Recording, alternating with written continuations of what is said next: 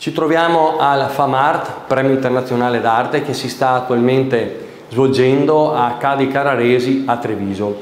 Abbiamo di fronte a noi due belle opere dell'artista Nenè Molai, opere veramente singolari in quanto sono legni intagliati, anzi sono delle tavole fra di loro assemblate e poi intagliate.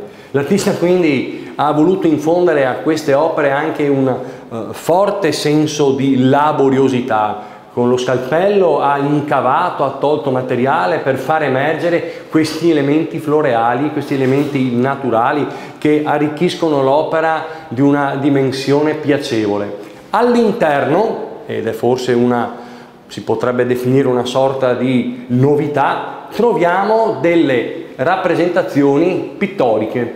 Qui, oltre alla dimensione scultorea, c'è anche la dimensione pittorica.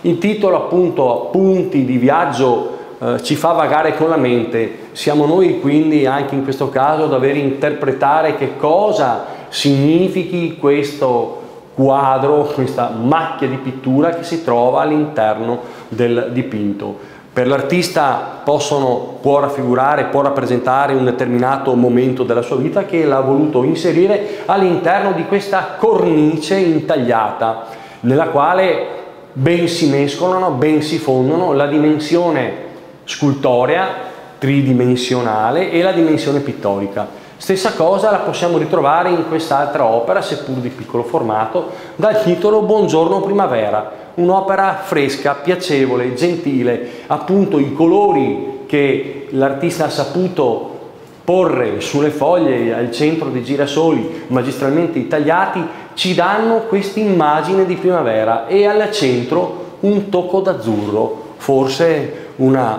spiaggia o un, e al centro un tocco d'azzurro, come a voler richiamare l'azzurro del mare.